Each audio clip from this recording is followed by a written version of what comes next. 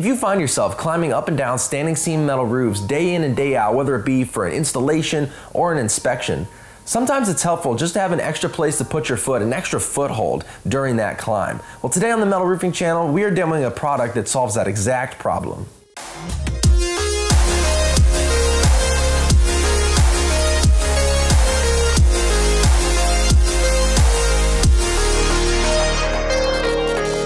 What's up, guys? Welcome to the Metal Roofing channel. I am Thad Barnett.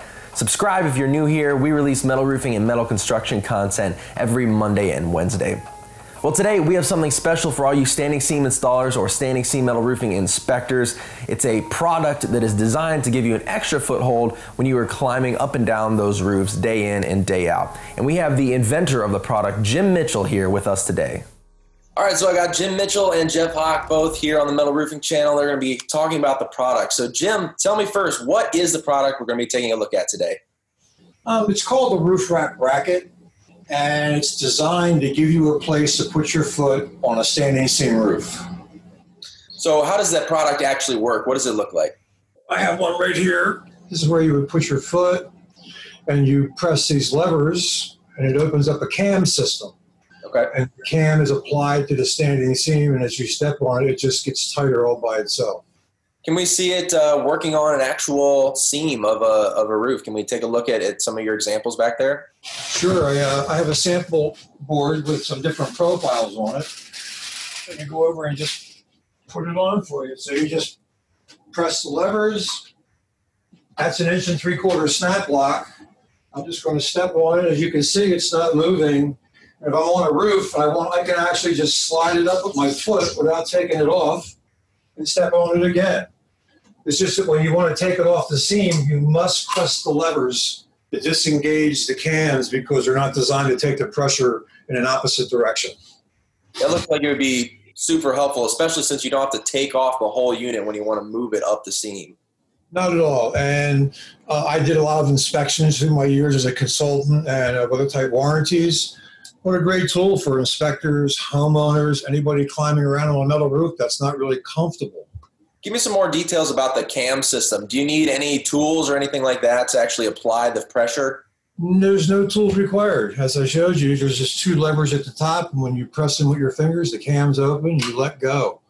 And cam system, you don't get anything stronger. Most of your uh, OSHA required uh, fall protection has cams on the ropes. There's cams on everything uh, rock climbers, it's all cams. Uh, cams are pretty fail safe and extremely strong. So, what type of profiles does it work on? Does it work on all profiles? Is there limitations to it? Um, it'll work on anything that's an inch and a half high up to a two inch. Uh, those are the, most of the panels used in the industry, so that's what it was designed around. Um, it works on a two inch, on a 90 or 180. You don't see a two inch on steep buildings very often unless it's government work. Um, and for Galvalume, it's a great product because Galvalume gets scuffed and you have to replace the panel. Well, now you have a place to put your foot. It's going to minimize that scuffing because you won't have to worry about sliding all the time. Also, on the bottom of the bracket, it has these little rubber feet to take and protect it from touching the finished surface of the panel. So you don't have to worry about any metal surfaces touching the paint finish and uh, potentially scratching it what was one of the reasons why you developed the product? Give me some uh, reasons why you know someone might want to use it. Um, I've, I've, been in the industry for 49 years, and it's very common knowledge that everybody, when they're on a roof that's a little steep or slick, the comment, "Boy, I wish I had a place to put my foot." Yeah. And that is exactly the reason behind the design and what it's for. This gives you a place to put your foot when you're in an uncomfortable situation. So is it, is that something that uh, over your years of experience, you know, you said that this this would be really helpful in certain situations. Give me some examples of, of situations where you know you might have wished you would have had a product like this, or uh, a situation where it would have helped. Yeah, if I was working on a skylight doing a, a flashing detail, and I'm on a 712 and it's a little slick, I could put this on the seam and have a place to rest my foot, and I could be comfortable and work. Um, we always recommend you be tied off according to OSHA standards based upon the duties you're performing to, meet the requirements of OSHA. But now you don't have a harness pulling on you that's tight. You can actually be relaxed in the environment. Your foot is secure. You can do your job. And if you need to, you just slide it up the roof and off you go. I think one of the cool things about it is, you know, in the areas like Jim's talking about, you know, it relieves a lot of fatigue, you know, from when you're working in situations like that. You know, if you're going to be somewhere doing an intricate detail or, you know, on a steeper roof like Jim's talking about, you know, it, you can wear out pretty quick. So anything to help make your job more comfortable and uh, a little bit easier to do is always always a good thing. Talk to me about the name of the system. How did you come up with that? Um, I called it the roof rat bracket. Um, many I've been doing metal roofing for so long that uh, many years ago, uh, a guy seen me crawling up under a dormer and he said, "What are you, a roof rat?" and it just kind of stuck through the years. Um, 49 years, a lot of people know me. I've been around doing this a long time.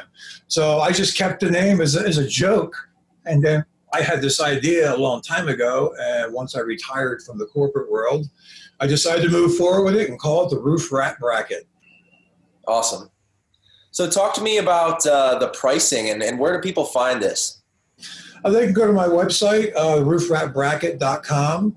Um, the pricing is uh, $225. Um, it's very competitive uh, pricing compared to the alternatives that are out there. Um, we've had uh, good success with contractors really liking it um, when it's used the way it's designed.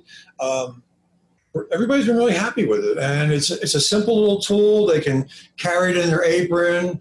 Um, it's not huge and cumbersome. It's easy to install. Slides up the roof um, with multiple ones. Some guys have hang tool bags off of other ones while they're working in details. So um, I'm really pleased with the turnout. Yeah, the product's also going to be available through Sheffield. So if you're an existing customer, you can contact your sales rep and uh, get an order in and be able to purchase it that way as well. Um, is there anything else that we haven't covered that you think someone should know or might like to know? Um, I, uh, some of the some products are good in the rain. Um, this this will not hold if it's raining when the seam gets wet. The reason I wasn't concerned about that is that if you're on a steep roof, you have no business being up on a standing roof in the rain anyway. So um, that's the only thing I would put out there. It is in the directions when it comes, and it's on the website. It's it's made clear, but that would be the only thing that I would um, that people really need to know that. Thanks to Jim Mitchell for bringing his roof rat bracket onto the Metal Roofing channel today. Make sure you check out the link in the description to purchase one for yourself. It's a really cool tool for all you standing seam installers or standing seam inspectors. Thanks for tuning in. Subscribe if you haven't already. Comment down below with any questions that you might have. As always, I'm Thad Barnett and we will catch you next time.